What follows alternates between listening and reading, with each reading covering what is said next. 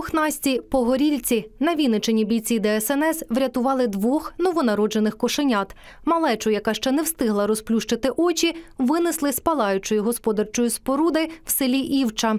Вогнеборці накинули крихіток на призволяще і забрали з собою до підрозділу. Їх відігріли та віддали на усиновлення кішці, яка мешкає поблизу пожежної частини. А за кілька тижнів для кожного хвостика шукатимуть люблячі родини.